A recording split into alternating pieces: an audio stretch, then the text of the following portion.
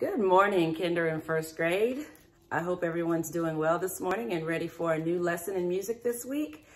Today we're gonna talk about um, melodic patterns and direction, and we're gonna start with some vocal exploration, which is great for Miss Terry this Monday morning because my voice is still trying to wake up. So maybe you can help wake it up with me. So I have my Hoberman sphere here with me today, and it's gonna help us to get some warm-ups going. So if you would use your voice and imitate the spear with me, all right?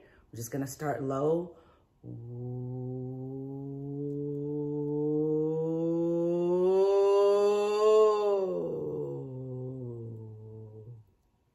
Oh, I think I went down before it did.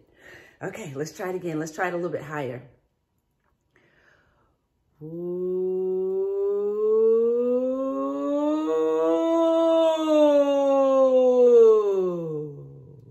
Nice. Let's try it a little bit higher. Ready?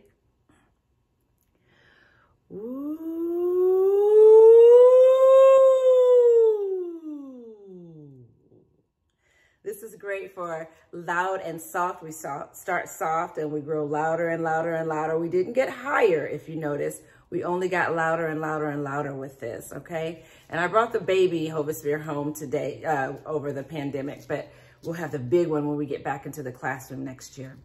All right, I have behind me on the board some vocal exploration cards. They're not as cool as the ones that we have at class, but that's okay. We're using what we've got right here. So we're gonna use our voice and we're gonna imitate the contour of each card, okay?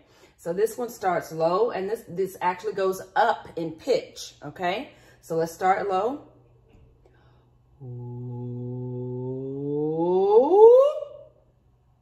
Can you try that one again? Okay, let's look at this one. Let's try this one together. Ready?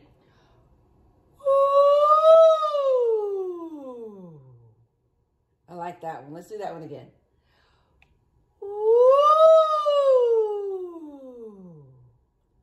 Okay, good. Let's try the next one.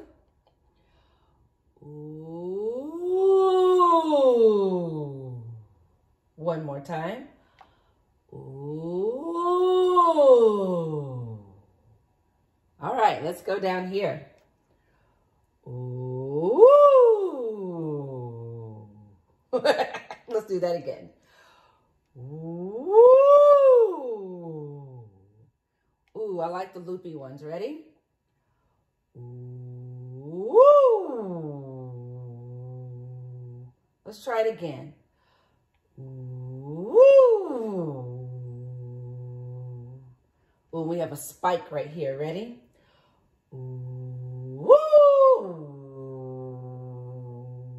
One more time.